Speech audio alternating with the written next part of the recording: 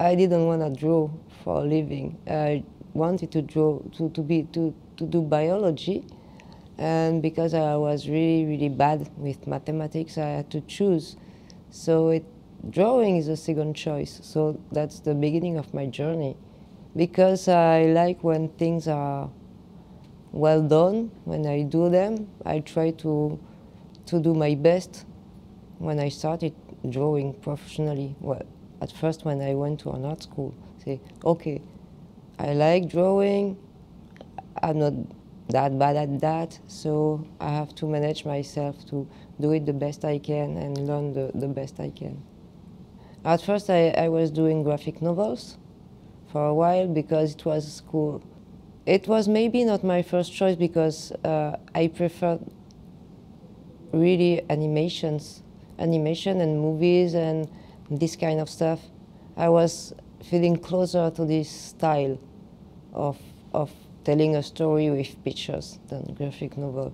But as I was in this area where, where everybody was doing graphic novels, I decided to start doing that. So I was maybe 20 years old when I started doing my first book. Had the chance to, to meet uh, a few publishers. At this time, 30 years ago, I think it was easier. The market was more open to new things and to, to make young people try. So I've learned a lot doing these, these first books. But after a few years, I was fed up and I, I, I was feeling I was trapped in something that wasn't really my strong suit. I, I wasn't feeling, I was feeling framed in the frames of graphic novels. And I started drawing illustrations for me and loose drawing for me. And, uh, and then after, uh, uh, out of the blue, I didn't know people could know my work uh, elsewhere than in France. Uh, I received a phone call from, from the USA, from a studio, and he told me, do you want to do uh, character development? Say yes.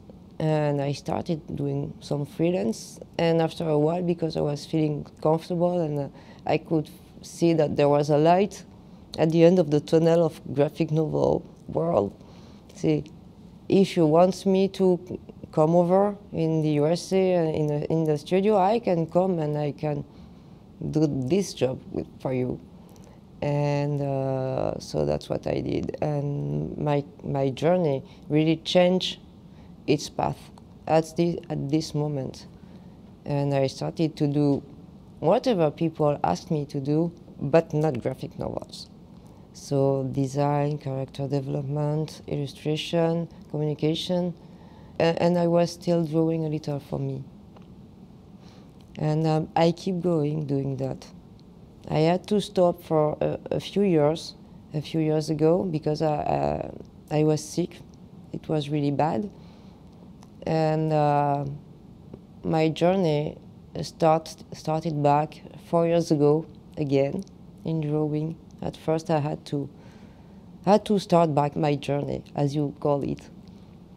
So at first it was difficult because uh, I, was, I wasn't working for, for five years and then I had to ask myself if I wanted to keep going that job, if I still loved drawing even, what I liked. It's been four years that um, I didn't stop drawing again.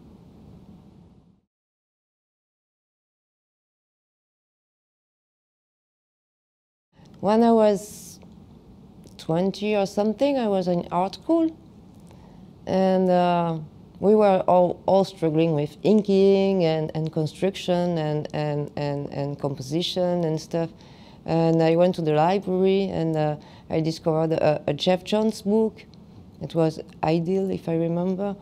And it was wonderful frames in black and white with ink made with a brush. And it was so simple and so obvious. And, so, and it, it, it, it, it, trig it triggered something in my brain that's how it works. That's how you can show things with almost nothing as long as they are obvious and consistent and, and, and placed at the right place so you can you can they can have their own existence.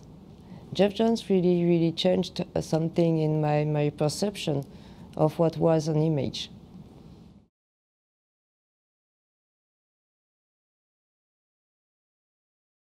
In everything around me, and in my in my childhood, in my history, in my dreams, in whatever. Sometimes the ideas just pop up, and but they are they are part of me, of what, everything I saw.